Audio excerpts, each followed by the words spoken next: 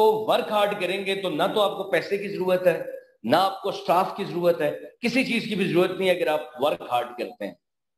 अब hard work कैसे होता है? एक बड़े आदमी ने कहा था कि अगर आप अपनी प्रोडक्ट को बेचने के लिए आप दौड़ नहीं सकते तो चलें, आप चल नहीं सकते तो रिंगे।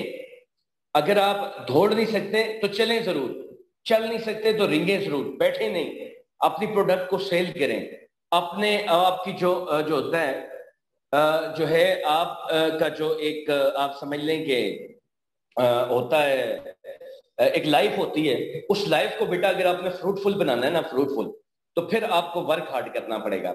मैं आपको एक कंपनी का वर्क हार्ड बताता हूँ। ये जो चेरी ब्लॉसम है चेरी ब्लॉसम जब चेरी ब्लॉसम आया था तो चेरी ब्लॉसम ने किस तरह से अपनी पैलिश जो है लोगों को टकराई थी? वो उन्होंने ऐसे टकराई थी, नहीं नहीं, जब चेरी ब्लॉसम आई तो ये कोई खरीदता नहीं था। तो चेरी ब्लॉसम वालों ने क्या किया? इन्होंने तकरीबन 300 लोग हायर किए। वो 300 लोग क्या करते हैं? कि दुकानों पे जाते हैं और उनको कहते जी, वो एक चेरी ब्लॉसम ये इस तरह करते थे कि एक एरिया ले लेते हैं। जैसे फॉर एग्ज़ाम्पल आप अपना मरी रोड ले लें।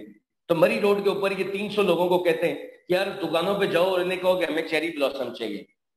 जब वो हायर किए हुए बंदे दुकानों पे जाते हैं और उन्हें कहते हैं कि हमें चेरी ब्लॉसम चाहिए तो वो जो चेरी ब्लॉसम है, वो दुकानों पे जाते हैं दुकान वाले पूछते हैं चेरी ब्लॉसम क्या है? हमने तो पहले इसका नाम नहीं सुना। तो वो कहते जी चेरी ब्लॉसम जो है, एक पॉलिश होती है। उन्हें कहा, यार, इसकी कंपनी कभी आई भी नहीं है चेरी ब्लॉसम बेचने। तो वो तो फिर वो लोग उनको एक्सप्लेन करते जो उन्होंने हायर किए होते थे। जो लोग एक्सप्लेन करते, कहते यार, ये चेरी ब्लॉसम जो है, एक पॉलिश है और ये बड़ी ही ज़बरदस्त किस्म की पॉलिश है। और जब ये एक दफ़ा शूज़ पे लगती है तो बड़ी मज़े की ये पॉलिश है। लेकिन ये सिर्फ़ इस्लामाबाद में शायद मिलती है। आप इसलिए नहीं रखते, या शायद थोड़ी सी महँगी है, इसलिए आप लोग नहीं ला रहे। तो दुकानदार कहते यार, महँगी, सस्ती की बात नहीं है। आप हमें बताइए कहाँ से मिलती है? तो कहते कि, यार, ये तो आपको सर्च करना पड़ेगा। अब 300 लोग जब 300 दुकानों पे जाके एक ही बात कहते हैं। 300 लोग जब 300 दुकानों पे जाके एक ही बात कहते हैं तो दुकानों वालों ये सोचने पे मजबूर हो गए कि यार ये चेरी ब्लॉसम है क्या चीज़ कि जिसकी इतनी ज़्यादा जो है वो डिमांड है? फिर वो क्या करते हैं? जब 300 लोगों को भेज देते तो वो जो है उनको फिर कहते कि अब आप 10 दिन रुक जाएँ। 10 दिन रुकने के बाद फिर ये चेरी ब्लॉसम कंपनी वाले अपनी गाड़ी उस रोड के ऊपर से गुजारते जिस गाड़ी के ऊपर लिखा होता था बड़ा बड़ा चेरी ब्लॉसम तो जब वो उस रोड से गुजरती तो सारी दुकानों वाले बाहर आते और उनको यूँ हाथ के इशारे से क्या करते रोकते हाथ के इशारे से रोकते और कहते कि जी आप रुके, हमें चाहिए। अब एक तो कोई दुकान वाला चेरी ब्लॉसम लेता नहीं है तो वो डब्बों के डब्बे ले लेते क्योंकि रोज उनके पास कस्टमर आते थे। जब वो डब्बों के डब्बे ले चुके होते हैं, अब आपको भी पता है कि ये कंपनी ने जो चेरी ब्लॉसम खरीदने वाले लोग हैं, ये तो खुद आइन किए हुए थे। ये तो उनके प्रोडक्ट लेने वाले लोग तो थे ही नहीं। जब दुकानदारों ने चेरी ब्लॉसम ले ली और उनका बिज़नेस जो है हो गया तो फिर उन्होंने बंदे भेजना बंद कर दिए।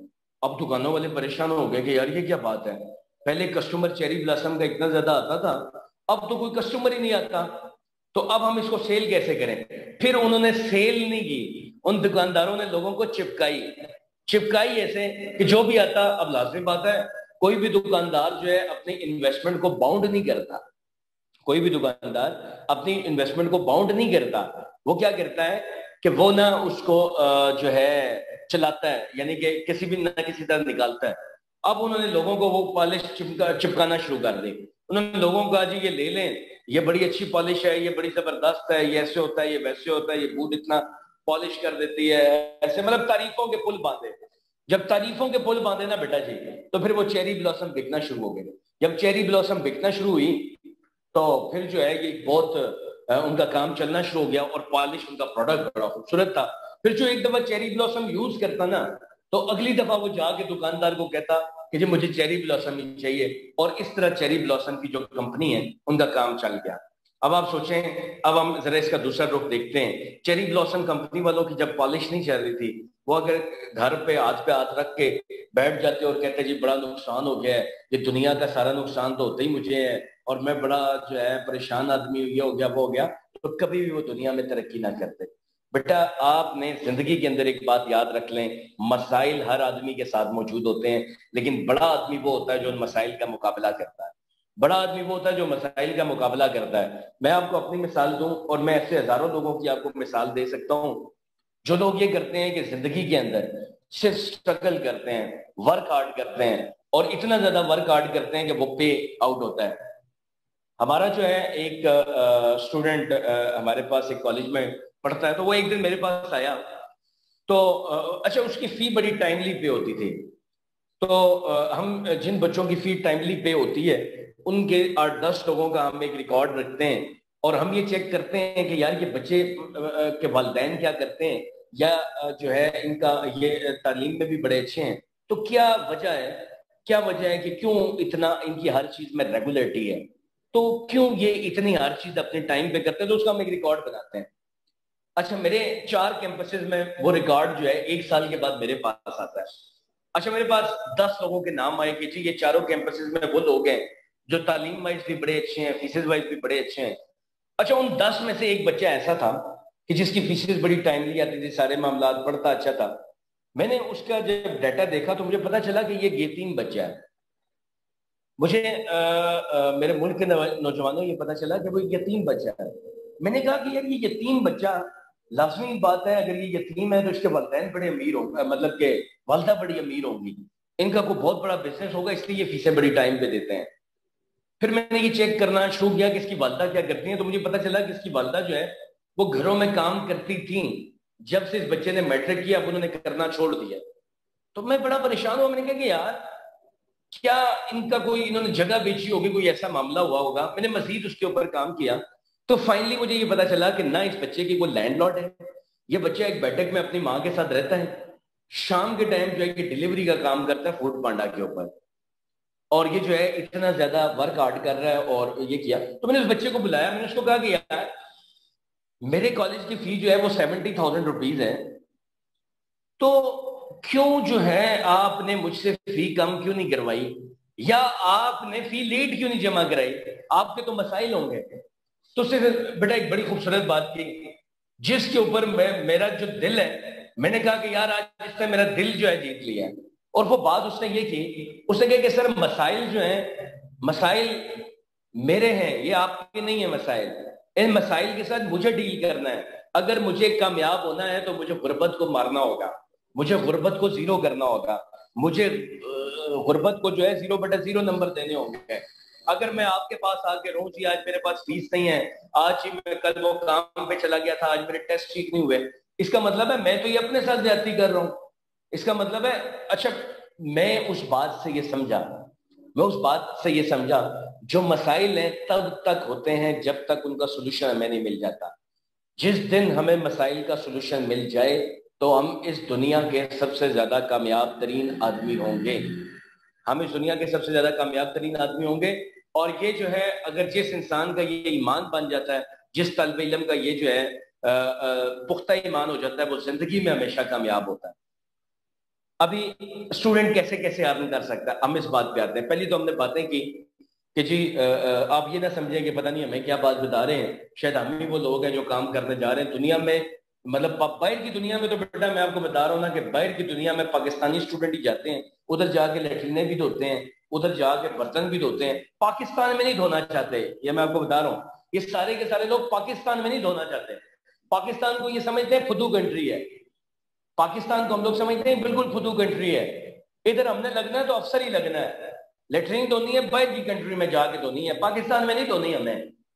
या हमने जो है, कोई गलत काम करना है, बाहर जाके करना है। हमने मजदूरी करनी है, बाहर करेंगे, पाकिस्तान में हम नहीं करते। क्यों? पाकिस्तान में तो हम एफ़ है। पाकिस्तान में तो हम कंप्यूटर इंजीनियर हैं, हम क्यों करें ये सारे काम? तो इसका मतलब ये हुआ कि हम लोगों ने खुद ही मुल्क को फुदूल गया है। फिर हम कहते हैं, हमारा मुल्क तरक्की नहीं करता। बेटा, बात सुनो, हमारी जो जब तक स्टूडेंट जनरेशन काम नहीं करेगी तो हमारा मुल्क ऊपर नहीं आएगा। बाहर के मुल्क इसलिए तरक्की करते हैं कि वो ये समझते हैं कि हमारा स्टूडेंट जब उनका तरक्की करता है तो वो लोग तरक्की करते हैं। उनका स्टूडेंट फ़ूड पांडा में भी काम करता है। उनका स्टूडेंट जो है, वो लेटरीने भी धोता है। उनका स्टूडेंट जो है, वो सफेदियाँ भी करता है अपने। पार्ट टाइम जॉब करके। लेकिन हमारा स्टूडेंट ये काम नहीं करना चाहता। हमारा स्टूडेंट क्या करता है जी? वो कहता है कि ये जो मुश्किल काम है ना, ये मुझसे ना ही कराएँ जी। फिर वालदेन को, मैं आपको बताऊँ कि अगर आपको वालदेन ने मैट्रिक करा दिया है तो उनके पाँव धो के चूमे कि जी, आपने हमारी ज़िंदगी का सबसे बड़ा मसला हल कर दिया है। आप माइंड ना करिएगा मेरी बात में। आपके साथ मतलब कि कुछ बॉयज़ भी होंगे गर्ल्स भी मेरा सेशन सुन रहे होंगे। माइंड ना करिएगा मेरी बात का। लेकिन उससे ज़्यादा जो है बदकिस्मत आदमी इस दुनिया में नहीं है कि जिस, जो मैट्रिक के बाद भी वालदेन से एक रुपया ले लें मैट्रिक के बाद तो आपको लेना ही नहीं चाहिए। मैट्रिक के बाद तो आपको इतना ज़्यादा वर्क हार्ड करना चाहिए, इतना ज़्यादा वर्क हार्ड करना चाहिए कि आप जो है, आप जो है, वो अपने एक्सपेंसेस को मीट कर सकें। मैं आपको बता रहा हूँ, मेरी एफ़ के अंदर जो फ़ीस है, वो मैं army public school and college से पढ़ा हुआ हूँ और मैंने बताया, मेरे वाले साहब एक सूबेदार है। मेरी जो है कॉलेज के अंदर फ़ीस होती थी तकरीबन कोई तेरह, चौदह सौ रुपए माना होती थी। तो उस वक्त ये इंस्टॉलमेंट वॉलमेंट वाले चक्कर नहीं होते थे, ये सेमेस्टर सिस्टम सिस्टम नहीं होता था। तो तेरह, चौदह सौ रुपए फ़ीस होती थी तो वो मैं ऐसे मीट करता था, मेरे पास मोहल्ले के बच्चे आते थे, कुछ तकरीबन पांचवीं के चौथी के तीसरी के तो मैं इनको वो ट्यूशन पढ़ाता घर में, और उससे कोई तकरीबन छह, सात, एक हज़ार रुपए बन जाते हैं। तो जो है मैं काम कर लेता। लेकिन यार, अब तो उस वक्त तो वो सिस्टम नहीं था जो अब है। मैं आपको बताऊँ, अब तो आप यूट्यूब से रनिंग कर सकते हो, अब तो आप जो है फ्रीलांसिंग कर सकते हो। अब तो आपके पास इतने ज़्यादा मल्टी अब तो अच्छा उस टाइम में फ़ूड पढ़ना भी नहीं था। ये घर घर चीज़ें पहुँचाने का सिस्टम ही नहीं था। उस वक्त जो है, ये घर जाकर होम ट्यूशन पढ़ाने का सिस्टम ही नहीं था। अब तो यकीन करें you have lot of opportunities आप देखिए, सबसे पहले देखें, अब चार किस्म के बच्चे होते हैं। एक बच्चे वो होते हैं जो रात के टाइम इजिली जाग सकते हैं। वो कॉल सेंटर करो। एक बच्चे वो होते हैं जो पढ़ाई में थोड़े अच्छे होते हैं, होम ट्यूशन पढ़ा सकते हैं।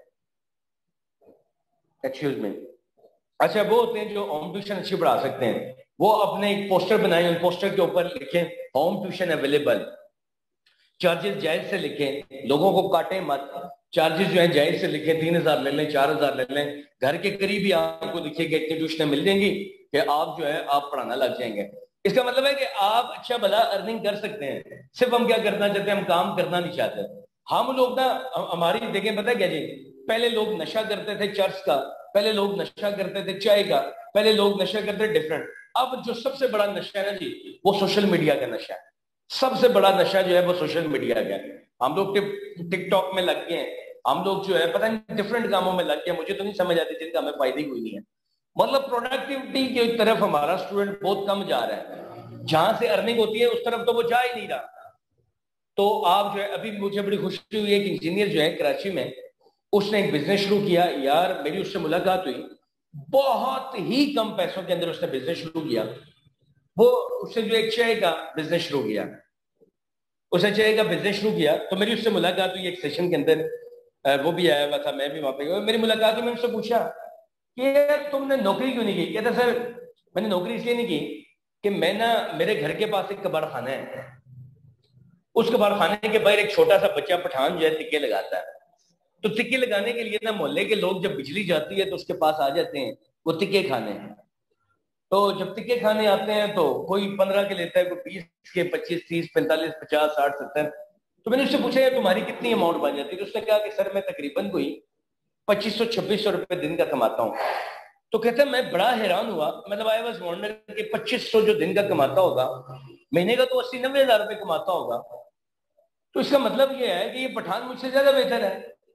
कहते मैंने अगले दिन क्या किया कि उस कबाड़ खाने वाले के पास एक वो चाय गठिया पड़ा हुआ था। कहते मैंने उससे कहा कि यार, मैं बीस दिन बाद जो दूँगा पैसे, ये मुझे चाय गठिया दे दें। कहते जब मैं गया। तो मैंने क्या किया कि मैंने नेट के ऊपर सर्च की। और मैंने वो बीस किस्म की चाय लिख दी। इलाची वाली चाय, चॉकलेट वाली चाय, बगैर चीनी के चाय, चीनी वाली चाय, गुड़ वाली चाय, शक्कर वाली चाय, काली चाय, सफ़ेद चाय, यानी कि बीस चीज़ें लिख दी। कहते वो बीस चीज़ें के बाद जो है वो मैंने बनाया और मैंने लिखा, पढ़ा लिखा चाय वाला। मैंने लिखा, पढ़ा लिखा चाय। कहते लोग बड़े जो है, हैरान होते फिर मैं होता भी पैंट शर्ट में और होता भी बड़ा जो है, वो शेव की हुई बड़ा एक अच्छे गेटअप में होता। कहते कि जी मैंने क्या किया कि वो मैंने चाय चलाना शुरू कर दी। कहता सर तकरीबन मैं कोई दो से ढाई लाख रुपए महीने का कमाता हूँ। दो से ढाई लाख। कहता अभी मैं एम कर रहा हूँ और मैं चाय का भी काम साथ करता हूँ। फिर उसके बाद मैं पीएचडी करूँगा और मैं चाय का काम भी साथ करता हूँ। कहते जैसे मेरा काम चलेगा तो मुझे पता है कि मैं पढ़ा लिखा आदमी हूँ और मैं टीए पे खड़ा होकर काम नहीं कर सकता। लेकिन मैं आगे पूरा मैं मैनेजर बन जाऊँगा, अपने नीचे जो है ऐसे ही यूनिवर्सिटी के स्टूडेंट्स को रखूँगा। जो जो है मेरी जगह पे काम करेंगे और वो भी अपनी यूनिवर्सिटी के अखराज खुद उठाएँगे। तो देखिए, कितना बड़ा ज़बरदस्त किस्म का थॉट है। कितना बेहतरीन जो है उस आदमी ने जो है वो किया काम। तो इसको कहते हैं कि जब आप वर्क हार्ड करते हैं, जब आप वर्क हार्ड करते हैं तो वर्क हार्ड करने के बाद जो दुनिया है ना बेटा तो वो दुनिया क्या करती है कि आपको उस वर्क हार्ड का रिवॉर्ड देती है। तो आप ये बात ध्यान में रखें कि जब तक सबसे पहली चीज़ जो आपने लाइफ के अंदर पैदा करनी है ना वो ये करनी है विल पावर विल पावर बेटा बड़ी इंपॉर्टेंट होती है। जब एक बंदा असिस्टेंट कमिश्नर बन जाए ना, और किसी को ये ना बता पाए कि मेरा बाप जो है वो एक मजदूर है और एक दिहाड़ीदार है, इसका मतलब है उसके अंदर विल पावर बड़ी ज़ीरो है। उसके अंदर विल पावर बिल्कुल ज़ीरो है, वो बताना नहीं चाहता। तो बेटा देखें, आपने सबसे पहला काम ये करना है विल पावर बनानी है। विल पावर वो होती है छोटे से छोटा काम करें। सबसे पहले स्टार्ट लें आप लोग होम ट्यूशन से। सबसे पहले स्टार्ट लें आप लोग जो है उससे कॉल सेंटर से। इन दो चीज़ों से अपना स्टार्ट लें। या तीसरा, आजकल फ़ूड फंड आया हुआ है। आप इससे लें या टीसीएस वालों के साथ जॉब करना शुरू कर दें। आप इन चार चीज़ों से पैसा कमाएँ। आपने पूरी ज़िंदगी नहीं करना ये काम, पूरी ज़िंदगी बिल्कुल नहीं करना। उसके बाद आप सॉफ्टवेयर हाउस अपना बनाएँ। अगर आप कंप्यूटर इंजीनियरिंग के हैं, या अगर एग्रीकल्चर के लोग हैं तो आप अपनी जो है, लोगों के पास जाएँ, फ़सलों में जाएँ किसानों के पास जाए, उन्हें कहें, जी, आप हमें जगह दें, हम इधर चीज़ें लगाते हैं, हम आपको इसका प्रॉफिट देंगे। यानी कि लोगों को आप एक अपनी कंसल्टेंसी फॉर्म बनाए। मैं, मेरा सिर्फ़ यहाँ पे आपके साथ रुकने का मकसद यह है, मैं आपको ये बताना चाहता हूँ कि बेटा कुछ ना कुछ करें, बैठे नहीं या दौड़े। दौड़े तब जब बहुत ज़्यादा पैसा है। अगर दौड़ नहीं सकते, थोड़ा पैसा है तो चलें, चल नहीं सकते तो क्रॉल लाजमी करें। रेंगते हुए जाएँ। देखिए, बात सुने दुनिया में तीन लिगन किस्म के लोग कामयाब होते हैं। इन सब की कामयाबी का एक ही पॉइंट है। मुझे नहीं लगता एक बंदा बिज़नेस स्टार्ट करे फ्लॉप हो जाए। मेरे सौ लोगों ने बिज़नेस किए हैं तो सौ के सौ मैंने कामयाब होते हुए देखे हैं। और ज़्यादातर यंग स्टूडेंट कामयाब होते हुए देखे हैं। देखें, तीन किस्म के लोग जब बिज़नेस स्टार्ट करते हैं, एक जल्दी कामयाब हो जाते हैं। एक थोड़ा लो देर से कामयाब होते हैं। एक बिल्कुल लो कामयाब होते हैं। सिर्फ़ उन तीनों में फ़र्क ये होता है, जो पहला जल्दी कामयाब हुआ है वो थोड़ा है। जो दरमियान में कामयाब हुआ है वो चला जो बिल्कुल आखिर में कामयाब हुआ है वो क्रॉलिंग की है उसने। और देखें ये तीनों जो लोग हैं ना तीनों के तीनों ये तीनों के तीनों लोग जो है वो कामयाब हुए हैं। ऐसा नहीं होगा कि एक कामयाब हो जाए दूसरा ना हो तीसरा हो, हो जाए। तो सारे के सारे जो लोग हैं बेटा ये कामयाब होते हैं। सारे के सारे जो लोग हैं कामयाब होते हैं। ऐसा नहीं होता कि कोई बंदा कामयाब ना हो। तो ये जो है ज़िंदगी का असूल है। आप मेहनत करेंगे तो वर्क हार्ड करेंगे तो इनशाला कामयाब होंगे। ये जो है ना, ये आप समझ लें कि ये जो है, आप, मैं मैं चले, इसको ना इन सारी चीज़ों को हम समराइज करते हैं। बिकॉज़ जो है टाइम भी बड़ा करीब लगा हुआ है। हम चीज़ों को समराइज करते हैं। समराइज ऐसे करते हैं कि आपने क्या करना है कि आपने सबसे पहले एक विल पावर बनानी है विल पावर कि जी, मुझे कुछ ना कुछ करना है। फिर करने के लिए ये नहीं है कि सर कोई कॉल सेंटर मिलते ही नहीं है। मिलता कैसे? आप एक दिन निकालो मोटरसाइकिल अपना और ढूंढना शुरू कर दो। जितने भी कॉल सेंटर है उसमें सीवी ड्रॉप करो। हो सकता है आपको दूसरे तीसरे से चौथे दिन कॉल आ जाए। ऐसा नहीं होगा जी आप नेट पे देखें फेसबुक पे कॉल सेंटर आया उधर से सीवी डाल दी ऐसा नहीं होता। मैं आपको बताऊँ मैं जो है आप में से बहुत से लोग जानते होंगे। मैं एक इंस्टीट्यूट में पढ़ाता था बड़ी मशहूर अकेडमी होती थी इस्लामाबाद की। मैं जब नया नया टीचर बना तो मुझे अब वो उस अकेडमी में सारे बड़े बड़े प्रोफेसर थे। को, कोई आई एम का प्रोफेसर था कोई जो है गॉर्डन कॉलेज का प्रोफेसर था, कोई जो है फौजी फाउंडेशन का प्रोफेसर था, वो सारे अकेडमी पढ़ाते थे। मैं उधर गया तो मुझे उन्होंने कहा, जी, इधर तो बड़े बड़े प्रोफेसर पढ़ाते हैं, आपको तो टाइम ही नहीं मिल सकता। अच्छा मैंने उनकी पिछले 20-25 साल की हिस्ट्री देखी तो वो हमेशा बड़े प्रोफेसर लेते थे। मेरी तरह का यंग प्रोफेसर कभी लेते ही नहीं थे। मैंने उनको कहा, जाके कहा कि साहब, आप एक काम करें, आपसे मैं तनख्वाह नहीं लूँगा। आपकी अकेडमी से मैं तनख्वाह नहीं लूँगा। मैं सिर्फ़ ये करूँगा कि आपके टीचर के साथ सिर्फ़ असिस्टेंट होऊँगा असिस्टेंट असिस्टेंट वो होता है जो बैठ के पीछे पेपर चेक करता है। वो मैं हूँगा पेपर चेक करूँगा। तो उन्होंने कहा अच्छा पक्की बात है सैलरी नहीं लेंगे। मैंने कहा, जी, बिल्कुल मैं सैलरी नहीं लूँगा। उन्होंने कहा, ठीक है जी, आप बैठे। तो मैं बैठ गया जी, वो मैथ के पेपर बैठ के पीछे चेक करता। और चेक करना शुरू कर दिया वो बड़े प्रोफेसर पढ़ाते हैं, मैं चेक करता, बड़े प्रोफेसर पढ़ाते हैं, मैं चेक करता। एक दिन इतफाक ये हुआ कि वो जो बड़ा प्रोफेसर था, उसकी आँखों फोतकी हो गई। जो फोतकी हुई तो उन्होंने क्या किया कि जी, उन्होंने मुझे एकेडमी वालों ने कहा, जी, आज टीचर की फोतकी हो गई है तो आप चूँकि इनकी क्लास में पीछे बैठते हैं तो आप क्या करें, आप जरा ना मेहरबानी करके तो आज की क्लास ले लें। बेटा जी, फिर मैंने खुद से कहा कि आज खुरम शहजाद वो वक्त है कि तुम अपना लोहा मनवाओ। आज वो वक्त है कि तुमने ना इस अकेडमी की हिस्ट्री चेंज करनी है।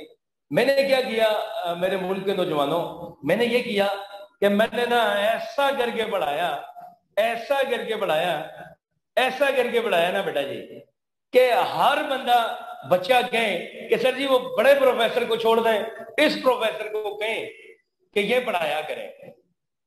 उन्हें अकेडमी में कहा, नहीं यार, ये तो छोटा सा बच्चा सा है, वो प्रोफेसर बड़े लेवल का है। उन्हें कहा, सर, भले लेवल का हो, लेकिन जो समझ हमें छोटे प्रोफेसर की आती है, वो उसकी नहीं आती हमें। वो मेरे पास आए और उन्होंने कहा कि, जी, आप खुरन साहब हमारा अच्छा वो मुझसे डायरेक्ट बात नहीं कर रहे थे। उन्हें पता था कि डायरेक्ट बात करेंगे तो ये कोई डिमांड करेगा। उन्होंने मेरे कहा, जी खुरम साहब, हम वो ये सोच रहे थे कि अब आप इतने अरसे से काम कर ही रहे हैं तो आपका कोई पाँच सात हज़ार रुपए का वजीफा लगा दें और साथ में जो है आपको कुछ एक दो क्लासें भी दे दें। मैंने कहा जी वो आ, मुझे बड़ा अफसोस हो रहा है मैं मैं भी आपके पास आना चाह रहा था। अच्छा मुझे ना एक अकेडमी में एक लाख रुपए की नौकरी मिल गई है तो मैं उधर जाना चाह रहा हूँ मैं भी आपके पास आने ही वाला था और मुझे बड़ा एक्सपीरियंस हुआ आपके इधारे से। और नहीं नहीं नहीं जी आप उधर किधर जा रहे हैं? आपकी हमें तो ट्रेनिंग करेंगे। मैंने कहा जी मुझे ट्रेनिंग की ज़रूरत नहीं है। आप मुझे ट्रेनिंग की ज़रूरत नहीं है। आप मुझे हर किस ट्रेनिंग की ज़रूरत नहीं है।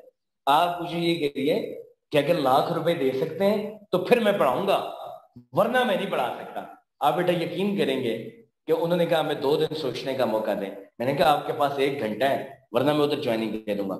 अब बच्चे इस्लामाबाद के मॉम डैड अवाम थी सारे। उन्होंने क्या किया जी? उन्होंने तो वो एक ही रदा रखा कि जी, यही होना चाहिए टीचर यही होना चाहिए, यही होना चाहिए। फाइनली ये हुआ बेटा जी, कि उन्होंने ना वो कर दिया। हंड्रेड परसेंट जो है ना, वो उन्होंने वो साथ मिल गए और बहरहाल उन्होंने मुझे रख लिया। और उसके बाद जो है, मैं उस अकेडमी के साथ पढ़ाता रहा और पढ़ाने के बाद जो है, वो मेरा टाइम गुजरा। फिर मैंने उसके बाद उसी पैसे से इंस्टीट्यूट बनाए, फिर अपनी गाड़ियाँ ली, फिर सारे मामला जो भी हो सकते थे किए। तो ये जो है बेटा तरीका है कि आपको वर्क हार्ड करना है।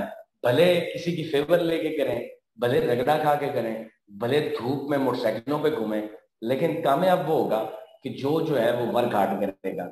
अगर वर्क हार्ड नहीं करेंगे तो इसका मतलब है फिर लाइफ जो है वो खराब हो जाएँगे। तो अभी अभी हम क्वेश्चन का सेशन करते हैं। Hello Qamar are you listening me hello yes sir yes sir yes sir अभी क्वेश्चन का सेशन कर लें। Thank you sir Uh, Assalamu alaikum, Forum Saab. This is Dr. Afshin Fatma. I would like to thank you for uh, conducting a successful uh, session for today's webinar. Or it was uh, really very, very informative and it had really practical examples or inspirations जहाँ से ले सकते हैं हमारे students. तो students आप में से जो क्वेश्चन करना चाहते हैं तो house is open for question answer session you may raise your hand और आपसे हम सवाल ले लेंगे जी एनी क्वेश्चन बच्चों या कोई कमेंट करना चाहते हैं आप लोग?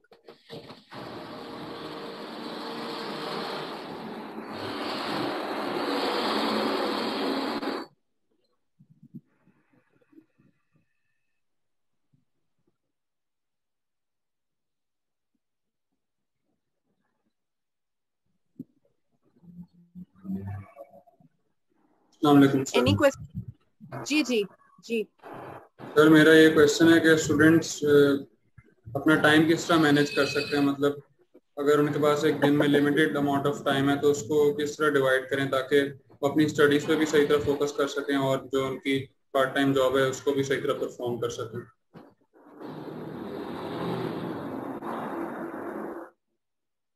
अच्छा जी आपका क्वेश्चन खत्म हो गया यस सर बस। ओके. अच्छा आपका क्वेश्चन जो मैं समझाऊं वो ये है कि हम किस तरह से अपने टाइम को मैनेज करें और किस तरह से अगर फॉर एग्जांपल हम जो है, वो पार्ट टाइम काम करना भी चाहते हैं और फिर अपनी स्टडीज़ को भी लेके चलना चाहते हैं तो हम किस तरह से मैनेज करें? अच्छा देखिए जी अगर आप यूनिवर्सिटी लाइफ के अंदर, मैं जो समझाऊं कि आपके पास बड़ा एक शॉर्ट सा सिलेबस होता है, यानी कि बिड और फाइनल्स मिला के वो बड़ा एक कम सा सिलेबस होता है। मतलब ऐसा नहीं होता जैसे फेडरल बोर्ड या रावलपिंडी बोर्ड में होता है। आप बड़ी मुश्किल से, यानी कि फेडरल बोर्ड से और पिंडी बोर्ड से, यानी कि बड़े मुश्किल एक वो सिस्टम से यूनिवर्सिटी में आए होते हैं। यूनिवर्सिटी में फिर आप थोड़ा सा इजी हो जाते हैं, ठीक है जी? तो आप इस तरह से इसको मैनेज कर सकते हैं कि आपका एक यूनिवर्सिटी का टाइम होता है लेट से एट से थ्री होता है या फोर होता है।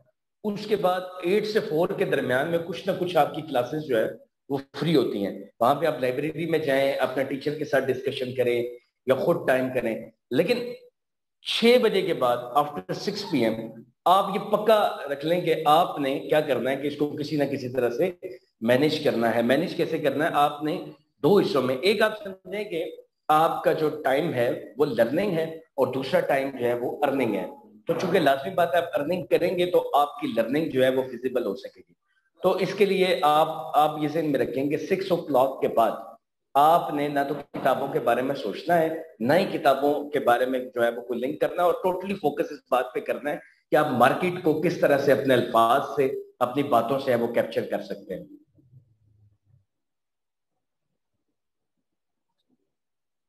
जी next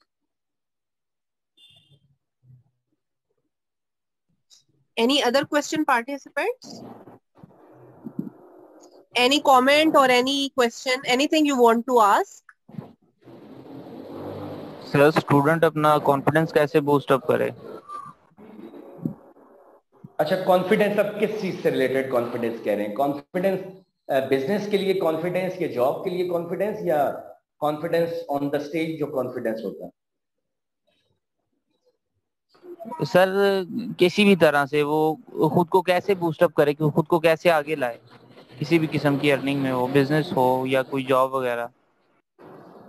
अच्छा पहले तो कॉन्फिडेंस बिल्डअप करने के लिए ना, जो सबसे पहली चीज़ है, वो ये है कि आपको सिंगल टारगेट होना होगा।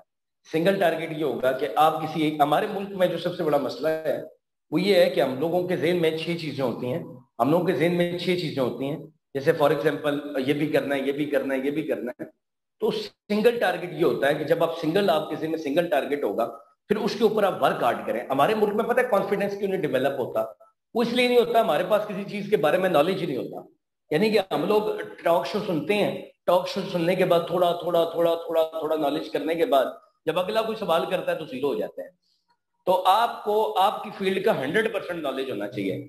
तो कॉन्फिडेंस जो है वो आपके जो नॉलेज है, उससे बिल्टअप होता है, ना कि जो है आपकी उससे आप समझ लें कि देखें, एक तो होता है कि बिज़नेस के अंदर ना, जब आप बिज़नेस करते हैं, एक होता है किसी चीज़ को, किसी आदमी को रियल प्रोडक्ट देना, एक होता है किसी को रियल प्रोडक्ट चिपकाना।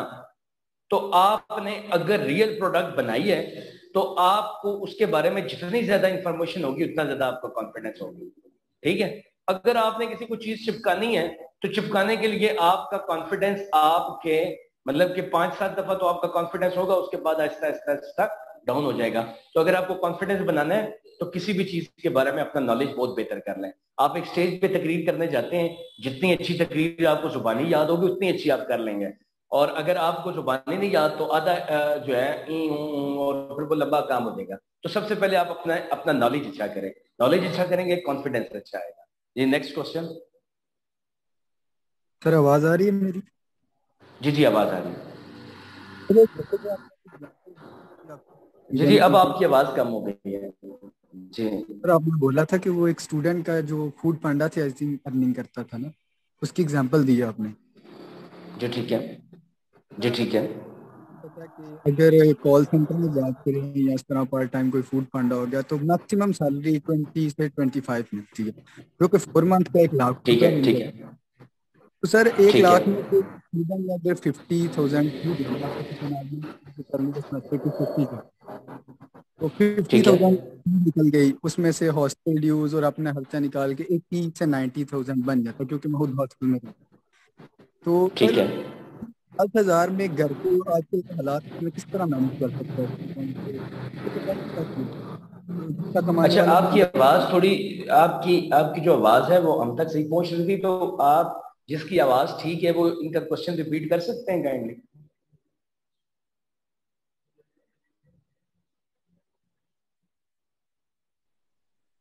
अब आ रही है सर आवाज़ मेरी? जी अब आ रही है जो मैं आपका सवाल समझाऊं मैं रिपीट कर देता हूँ। आप ही कह रहे हैं कि ट्वेंटी फाइव थाउज़ेंड अगर मैं मंथली कमा रहा हूँ किसी भी जॉब से तो फोर मंथ बाद वो वन लैख हो जाता है। और वन लैख के बाद जो है मैं हॉस्टल के ड्यूज भी उसमें से दूँगा। यूनिवर्सिटी की फ़ी मिला के और ये सारी चीज़ें ninety two ninety two thousand बन जाती हैं तो फिर जो आठ हज़ार है मैं उससे बिज़नेस कैसे करूँगा? ऐसे ही है। नहीं सर बिज़नेस का नहीं बोला। मैंने बोला कि अगर कोई घर में और बंदा अर्निंग वाला नहीं है आपने बोला था कि वो घर को भी चला रहा था तो आठ हज़ार में आज के हालात में डॉक्टर नहीं चल सकता। बंदा किस तरह मैनेज कर सकता अच्छा देखिए बात सुना है ये ना एक ये एक डिफरेंट चीज़ है। इसको हम इस तरह से समझते हैं। देखिए, पता है क्या? आपके पास ना, आप जो कंडीशन आप या तो पढ़ाई को चला सकते हैं या घर को चला सकते हैं, ठीक है? अगर आपने दोनों को चलाना है, फिर आप वो यूनिवर्सिटी अब देखें एक बच्चा कॉम सेट में है या किसी ऐसी यूनिवर्सिटी में है कि जिसकी जो है वो तकरीबन दो लाख रुपए बनती है तो वो थोड़ा सा फिर उस तरह से डिफ़िकल्ट हो जाता है। तो जो यूनिवर्सिटी आप चूज़ करते हैं, मैं बहुत से गरीब ऐसे बच्चों को जानता हूँ जो जीसी में पढ़ते हैं, जो एफसी में पढ़ते हैं मतलब ऐसी यूनिवर्सिटीज या कॉलेजेस में पढ़ते हैं जिनकी फीसेस बहुत ज़्यादा डाउन है। तो फिर आप अपने एक्सपेंस के एतबार से जो है उसको करते हैं। आपने घर का भी एक सिस्टम देखा होगा, एक वालिद अपने बच्चों को जो है ऐसे स्कूल में दाखिल कराता है कि जिनकी फीसें वो इजिली पे आउट कर सकता है। तो ये है कि अगर तो आप ये चाहते हैं कि आप अपने घर को भी सपोर्ट करें और साथ में जो है दूसरे सिस्टम को भी करें, फिर आपको ऐसा यूनिवर्सिटी ऐसा इंस्टीट्यूट ज्वाइन करना पड़ेगा, जिसमें आपकी फ़ी भी थोड़ी बहुत कम हो तो फिर आप वो दोनों चीज़ों को लेके चल सकते हैं। लेकिन अगर आप चाहते हैं कि आप एक अच्छी यूनिवर्सिटी में पढ़ें तो फिर आपको ना वर्किंग आवर बढ़ाने पड़ेंगे। यानी कि आप कॉल सेंटर भी काम करें, फिर होम ट्यूशन भी पढ़ाएँ, फिर वो आप बटनाइज बहुत ज़्यादा हो जाएँगे। जब बटनाइज बहुत ज़्यादा हो जाएँगे तो फिर ये थोड़ा सा आपके लिए ना वो डिफ़िकल्ट हो जाएँगी चीज़ें। लेकिन मैंने आपसे कहा कि जो मैनेजमेंट होती है ना किसी भी चीज़ की, ये बड़ी इंपॉर्टेंट होती है मैनेजमेंट जब आप मैनेज अच्छा करेंगे चीज़ों को मतलब फॉर एग्ज़ाम्पल कि अब आपको पता है कि आप मैक्सिमम फोर्टी थाउज़ेंड कमा सकते हैं, फिर आप आप ऐसी यूनिवर्सिटी ज्वाइन करेंगे कि जो ज़्यादा जो है ना वो देती है मतलब कि जो ज़्यादा फ़ी वाली है। अगर आप समझते हैं कि मैं कमाते ही पंद्रह हज़ार हूँ, फिर अगर आप जो है एट्टी थाउज़ेंड नाइन्टी थाउज़ेंड वाली यूनिवर्सिटी लगा रहे हैं तो आई थिंक सो कि this is not a good decision ठीक है जी? तो उसमें ये ये फिर दूसरी चीज़ आ जाती है कि डिसीज़न पावर भी होनी चाहिए इंसान में ठीक है? वही एक मैनेजमेंट लेवल आ जाता है। ये है जी। नेक्स्ट जी सर थैंक यू अस्सलाम वालेकुम सर नेक्स्ट जी वालेकुम सलाम सर मेरा क्वेश्चन ये है कि जो लोग गाँव में रहते हैं और आजकल कोरोना के वायरस से कोरोना वायरस की वजह से क्लासेस तो ऑनलाइन ही चल रही हैं। तो जी ठीक है। गाँव में तो सर ऐसी सर्विस अवेलेबल नहीं होती जैसे फ़ूड फंड हो गया कॉल सेंटर हो गया जो भी और इस तरह की चीज़ें हो गई। तो सर होम ट्यूशन के अलावा और कौन सी अपॉर्चुनिटी हैं जो अवेल कर सकता है स्टूडेंट ताकि सर फ्यूचर में ज़्यादा बेनिफिट हो जो कोई ऐसा बिज़नेस कोई ऐसा काम जो गाँव में रह के या यहाँ पे इतनी सर्विस है जहाँ पे अच्छा आप आपकी आवाज़ ना इज़ नॉट दैट क्लियर आपकी आवाज़ नहीं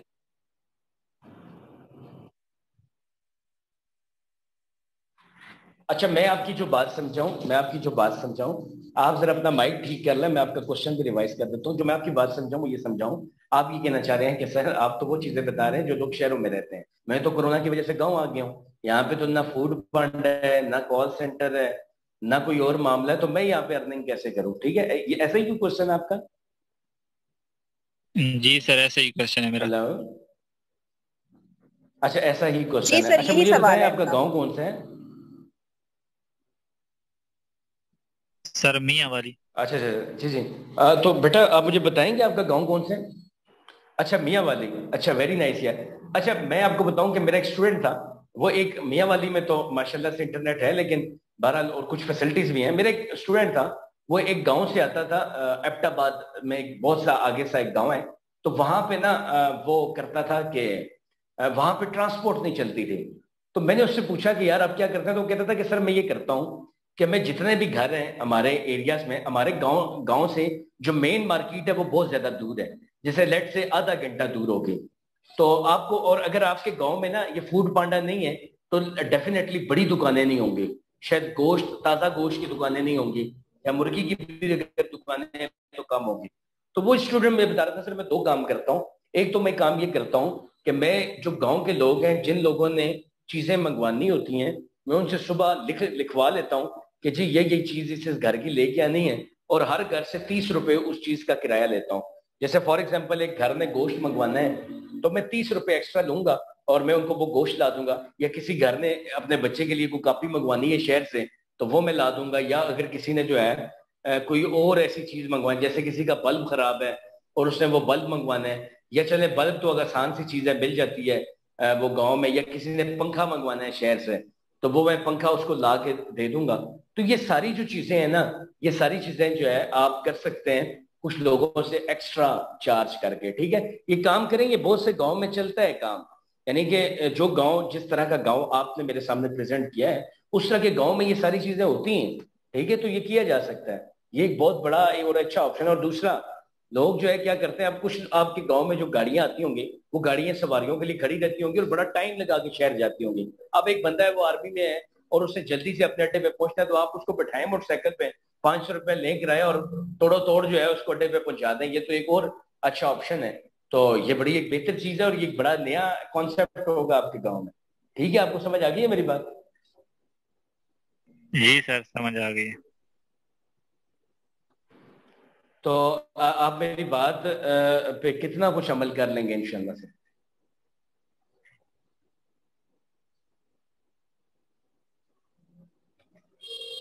यस सर इंशाल्लाह अमल करने की कोशिश करेंगे सर जितना हो सके जी इंशाल्लाह चलिए नेक्स्ट क्वेश्चन प्लीज़ जी जी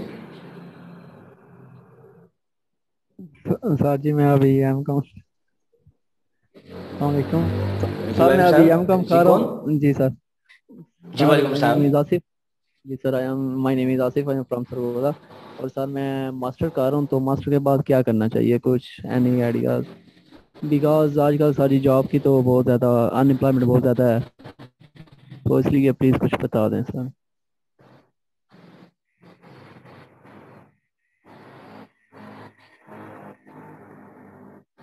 अच्छा आपकी आवाज़ जो है बड़ी वो आ रही है अगर इनका कोई क्वेश्चन जी सर इनका क्वेश्चन है तो मैं तो आपकी बात यहाँ तक समझाऊं कि आप मास्टर कर रहे हैं और मास्टर के बाद क्या करना है वो एम कॉम कर रहे हैं उसका एम कॉम कंप्लीट होने वाला जी मास्टर्स के बाद बिज़नेस में क्या करना चाहिए या एजुकेशन में क्या करना चाहिए? सर दोनों में बता दें तो ज़्यादा बेहतर है।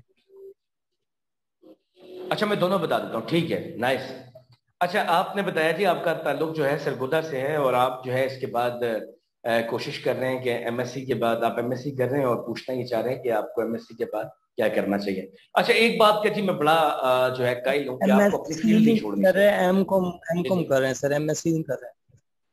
पूछ रहे हैं कि एम कॉम के क्या कर अच्छा वेरी नाइस ठीक है जी। एक तो बात यह कि आपको जी फ़ील्ड नहीं छोड़नी चाहिए अपनी ठीक है? फ़ील्ड नहीं छोड़नी चाहिए जो एम कॉम है। पहले तो सबसे पहले आप कोशिश ये करें कि अगर आप एम कॉम कर रहे हैं तो कोशिश करें कोशिश करें कि आप किसी बैंक में जॉब कर लें ये करने के बाद ठीक है जी? ये करने के बाद आप बैंक में जॉब कर लें। उसके बाद कुछ यूनिवर्सिटीज ऐसी हैं कि जो सैटरडे और संडे के प्रोग्राम चलाती हैं। अगर आप आगे जो है वो पढ़ना भी चाहते हैं तो सैटरडे संडे प्रोग्राम चलाती हैं वो भी कर सकते हैं। लेकिन सबसे पहले कोशिश ये करें कि आप जो है कोई एक जॉब ले लें। या अगर फॉर एग्जांपल आप जॉब नहीं करना चाहते बिज़नेस करना चाहते हैं तो सॉरी सर उनका क्वेश्चन ये भी था साथ साथ कि जॉब तो मिल नहीं रही। जैसा कि आप कह रहे हैं कि आप बैंक में जॉब कर सकते हैं तो आज के दौर में जॉब तो मिलना बहुत मुश्किल है ठीक है। तो आप कह रहे हैं कि बैंक में जॉब करने के बाद ही आप कर सकते हैं, लेकिन जॉब मिलना तो आई थिंक इम्पॉसिबल है तो ये बताएँ। अच्छा ये एग्जैक्टली आपने बड़ा प्रैक्टिकल सवाल किया कि जॉब मिलना तो पाकिस्तान में थोड़ा सा मुश्किल काम है। अच्छा इसको हम इस तरह से ले लेते हैं। मैं दो तरह के स्टूडेंट्स को जानता हूँ। एक वो जो बोल टॉप स्टूडेंट होते हैं, जिनको बैंक्स वाले और दुनिया ढूंढ रही होती है, ठीक है? एक तो वो लोग होते हैं। दूसरे नंबर पे वो लोग होते हैं कि जिनके शायद मार्क्स अच्छे नहीं होते, जैसे कि मैं हूँ। और मेरे मार्क्स इतने शायद अच्छे नहीं थे, इस वजह से मैं बिज़नेस में आया। तो दूसरे इस तरह के लोग होते हैं। अच्छा अगर देखें आप क्यों बैंक में या कहीं किसी जगह पे जॉब नहीं मिलती, पहले तो कोशिश ये आपने करनी है। सबसे पहले ये मेरी बात समझिएगा कि अगर आप घर में सबसे बड़े हैं, फिर बिज़नेस की तरफ़ मत जाएँ। अगर आप घर में सबसे बड़े हैं, फिर बिज़नेस की तरफ़ मत जाएँ। फिर आपने जॉब ही करनी है, वो जॉब कैसे ढूंढेंगे? आपने ये करना है कि आप एक घंटा लगाएँ पूरे वेबसाइट्स जंग पेपर और नवाए वक्त और इसके ऊपर जॉब देखें और अपने पास डायरी में लिखते जाएँ और उस पर अप्लाई लाजमी करें, ठीक है? एक बात, जहाँ पे आपकी रेलिवेंट आए, अगर आप घर में पढ़ें। अगर आप वो दूसरी तरह के स्टूडेंट हैं, जो मैं कह रहा हूँ तो फिर आप बिज़नेस करें। उसके अंदर ये होगा कि आप जो बिज़नेस है, वो ये करें कि आप जो अपनी सर्विसेज़ है, जैसे भी बहुत से लोग बिज़नेस करते हैं, उन्होंने अपनी छोटी छोटी वो शॉप्स बनाई हैं। उन शॉप्स के अंदर वो क्या करते हैं कि वो बिल इकट्ठे करते हैं, पानी के, बिजली के और उसके अलावा जो है कुछ और तरह के तो उस पर उनके दस या पंद्रह रुपए जो है, वो होते हैं, उनका वो प्रॉफिट होता है, ठीक है?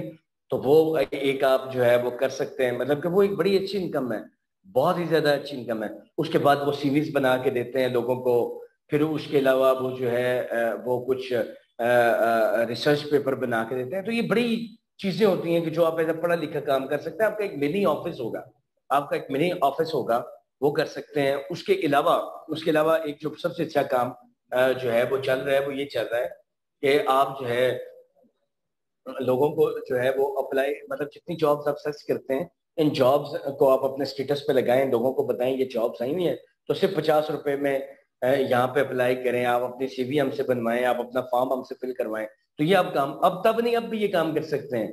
आप तो ये काम अब भी कर सकते हैं ठीक है? और ये बहुत ज़्यादा फ़ायदा मंद काम है और ये बिज़नेस वो है जो आप कर सकते हैं। इसके अलावा तो बहुत ज़्यादा बिज़नेस है मतलब कि आप जो है कोई दुकान बनाए उसके अंदर की चीज़ें रखते हैं लेकिन जो काम आप कर सकते हैं मैंने उस हिसाब से आपको जो बताया ये काम आप करें इससे इनशाला काफ़ी फ़ायदा होगा। जी नेक्स्ट क्वेश्चन सर मेरा एक क्वेश्चन है। सर आवाज़ आ रही है? जी जी। जी सर जी जी अब बिल्कुल आपकी आवाज़ ठीक आ रही है। आज के दौर में सर ऐसा कौन सा बिज़नेस करना चाहिए? जैसा कि एक इंसान सफ़ेद पोश बंदा है ठीक है? जैसा कि आपने एग्जांपल दिया है कि एक मेरा स्टूडेंट था वो चाय का काम करता था ठीक है? तो एक जो ठीक है ठीक है। ठीक है वो चाय का काम नहीं कर सकता। जैसे आपने कहा है कि घरों से ऑर्डर लेता था एक मेरा स्टूडेंट था ठीक है? वो ऑर्डर लेके उनका सामान लेके आता था। एक बंदा वो ये काम नहीं कर सकता ठीक है? तो उसको ऐसा कौन सा काम करना चाहिए जो उसका ये भी बन जाए और वो अपना बिज़नेस भी स्टार्ट कर ले और मिनिमम कितना कैपिटल होना चाहिए कि वो ये कर सके और कौन सा बिज़नेस करना चाहिए? अच्छा ठीक है। ये जो आ, मसला है ये मसला अमूमन जो है वो चलता है। आ, बिल्कुल ऐसे ही होता है कि सफ़ेद पोशी जो है ना देखो ये एक बड़ा अच्छा सवाल आपने किया है जो किसी मतलब तकरीबन सारे स्टूडेंट के जहन में होता है। आप जब पढ़े लिखे होते हैं ना, पढ़े लिखे तो उस पढ़े लिखे होने से ना आपकी इज़्ज़त नफ्स जनरेट होती है। जो पर लोग पढ़े लिखे नहीं होते, उनसे ज़्यादा आपकी इज़्ज़त नफ्स होती है। आपने देखा होगा, जब पढ़े लिखे आदमी की गाड़ी टकराती है ना तो वो कहता हो इट्स ओके बस आप बच गए, बस वो चला जाता है। लेकिन जो अनपढ़ की अगर गाड़ी टकरा जाए तो वो उधर पे सीधा कर देता है अगले बंदे को। क्योंकि वो अपनी इज़्ज़त नफ्स नहीं समझता, वो सफ़ेद पोश आदमी नहीं है। तो अच्छा कुछ जो लोग हैं, जो पढ़े लिखे लोग होते हैं मतलब मैक्सिमम लोग अपने आप को सफ़ेद पोश समझते हैं और वो ये जानना चाहते हैं कि वो कौन सा ऐसा बिज़नेस करें कि जिससे उनका जो है वो काम भी बन जाए और सारी चीज़ें। तो उसमें ना जी एजुकेशन बड़ा एक अच्छा जो है काम है जो आप कर सकते हैं। देखिए, पता है कि आप अपनी सर्विसेज़ दें अच्छा पढ़ाएँ लोगों को। जब आप अच्छा पढ़ाते हैं तो लोग आपके पास पढ़ने आते हैं। और जो है ये मत देखें कि आप तीसरी, चौथी के बच्चों को पढ़ा रहे हैं, पांचवी छठवीं को पढ़ा रहे हैं। आप भी एजुकेशन पे आपने इन्वेस्ट किया है। जब आपने एजुकेशन पे इन्वेस्ट किया है तो आप भी जो है उसका रिवॉर्ड लें।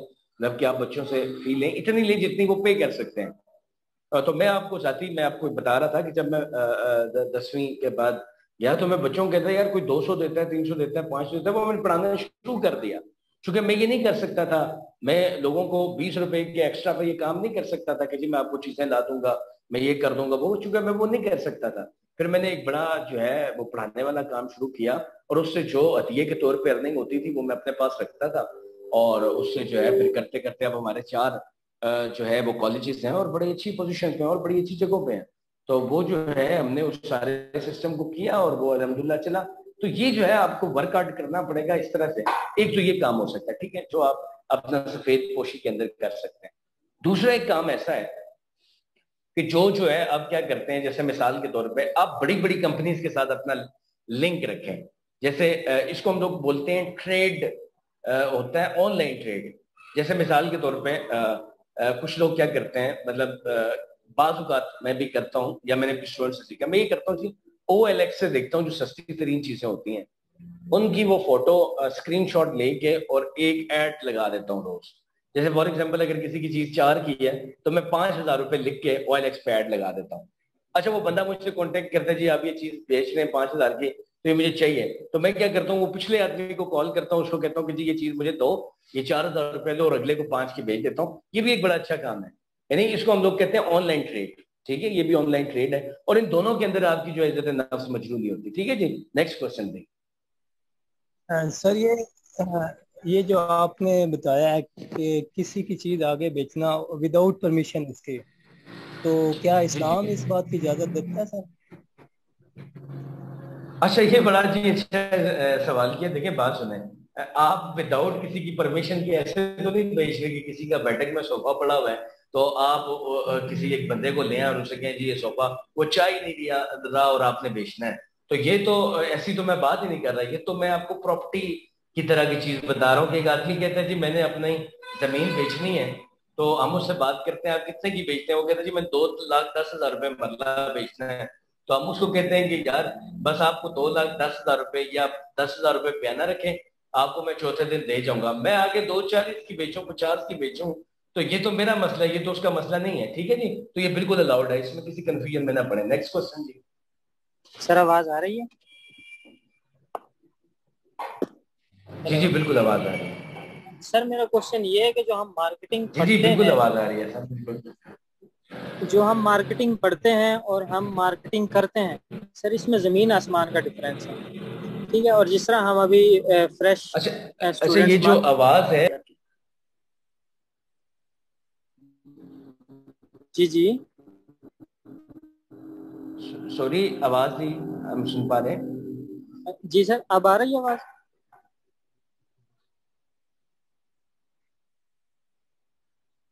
हेलो जी जी सर आवाज़ आ रही है? हेलो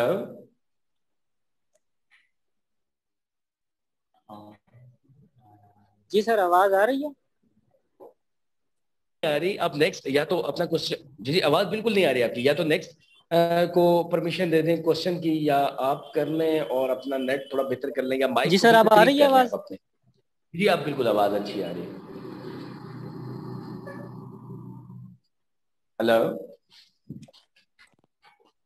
जी जी क्वेश्चन कीजिए आप अपना। जी जी आप क्वेश्चन कीजिए मैं सुन रहा हूँ आपको। सर जो हम मार्केटिंग पढ़ते हैं उसमें और जो हम मार्केटिंग करते हैं ज़मीन आसमान का डिफरेंस है। बिल्कुल ऐसे ही आप तो जिस तरह हम अच्छा, बहुत अच्छा जिस तरह हम फ्रेश अपना स्टूडेंट मार्केट में आते हैं तो हमारे हमें बहुत सी मुश्किल का सामना करना पड़ता है। जैसे सपोज़ हम अपनी प्रोडक्ट कोई छोटी सी लॉन्च करते हैं एज ए क्योंकि हम मल्टी मिलीनियर नहीं होते। ठीक है। चंद हज़ार में मिडिल क्लास फैमिली से। अगर हम कोई अपना छोटा सा प्रोडक्ट लॉन्च करते हैं मार्केट में तो उसके उसको हम अपना जो हमारे अच्छा ठीक है। जिन जो जिन लोगों को हम टारगेट करेंगे जो हमारे कस्टमर होंगे उनको हम कैसे सेटिस्फाई कर सकते हैं? सपोज़ हमारी प्रोडक्ट है एक्स वाई जी तो हम उनको कैसे कन्विंस कर सकते हैं कि वो हमारी प्रोडक्ट परचेज करें? लाइक जैसे जैसे जैसे हम बुक थ्योरी जैसे हम बुक्स में पढ़ते हैं कि जी इसको हेडिंग आ जाती है हमारी प्रोडक्ट रिलायबल है या अक्सर हम सोशल मीडिया पे भी ये चीज़ देखते हैं। तो रिलायबल तो सर टेस्ला भी नहीं है उसका भी पिछले दिनों एक्सीडेंट हो गया जो कि टोटली अलग कार है। ओके ओके कॉन्फिडेंस में लेके आ सकते हैं? अच्छा देखिए जी ये आपका बड़ा अच्छा सवाल है। आप मुझे नाम बताएँगे अपना और अपना जो है गाँव का नाम भी बताइएगा। Sir Rana Zunair Latif from Mianwali अच्छा माशाल्लाह यार आपका जो क्वेश्चन है मुझे बड़ा पसंद आया। मतलब कि ये जो वो क्वेश्चन है ना ये एक वो पीछे बच्चे का क्वेश्चन भी बड़ा अच्छा क्वेश्चन था जिन्होंने वो सफ़ेद पोशी वाला क्वेश्चन किया था। और दूसरा आपका बाकी सबके क्वेश्चन अच्छे थे। ये दोनों क्वेश्चन बड़े एक प्रैक्टिकल क्वेश्चन थे। अच्छा बेटा एक बात ज़िंदगी में याद रखें एक बात याद रखें कि जो बिज़नेस होता है ना बिज़नेस वो जो किताबों में लिखा है, वो कुछ और बिज़नेस है। जो बिज़नेस आप कर रहे हैं, वो बिज़नेस तू तरह वाला बिज़नेस है। जो किताबों में लिखा है, वो आप वाला बिज़नेस है और हमारे पाकिस्तान में बिज़नेस है तू तरह वाला। ये बिज़नेस बड़ी मुश्किल से बिज़नेस होता है। ये ऐसे नहीं होता, आप एक दुकान वाले के पास जाते हैं, कहते हैं, ये मेरा प्रोडक्ट है, ये रख लो। तो कहते हैं, यार, ये ले जो मैं अपनी दुकान में नहीं रख सकता। ठीक है?